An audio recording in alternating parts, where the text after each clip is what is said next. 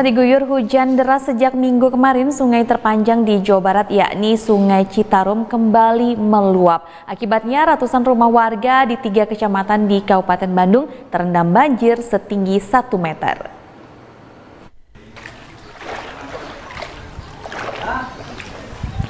Ratusan rumah warga di tiga kecamatan di Kabupaten Bandung, yakni Kecamatan Bale Endah, Dayakolot, dan Bojong Soang, kembali terendam banjir luapan Sungai Citarum. Ketinggian banjir bervariasi di titik terdalam mencapai 1 meter. Warga pun terpaksa harus menggunakan perahu kayu menerobos genangan banjir untuk beraktivitas. Sebagian warga mulai ada yang meninggalkan bangunan rumah mereka dan pindah ke tempat yang terbebas dari banjir. Setiap tahunnya selama 3 sampai 4 bulan warga di Dayakolot, Bale Endah dan Bojong Soang selalu kebanjiran. Uh, ya banyak juga sih. Puluhan ada ya, lebih lebih dari puluhan yang dijual banyak. Banyak.